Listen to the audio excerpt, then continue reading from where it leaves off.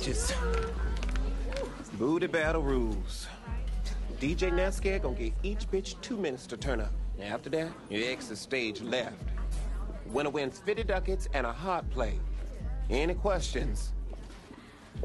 Oh, good. Now get bitch your name. Strawberry. Strawberry? Mm-hmm. Clear. House clear. Sit down. What is this? What do you want? Employee ID, Newmark Grand Hotel.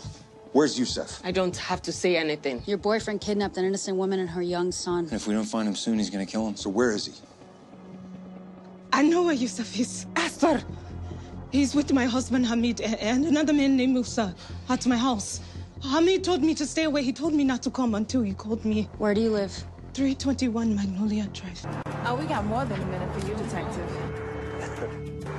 Well, ladies, I'm looking for a little help. I'm hoping you can tell me if you recognize this young lady.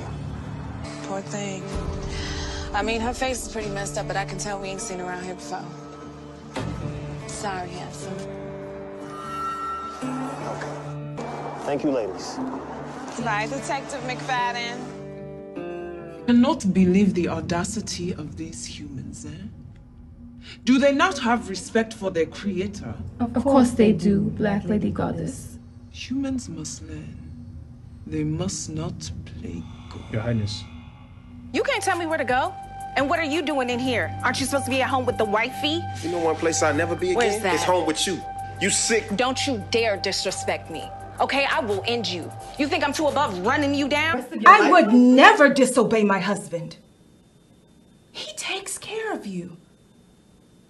And here you are exposing details of your marriage. You think you're a new person because you pray and wear your hijab? You're still a kafir. You raped me. No such thing.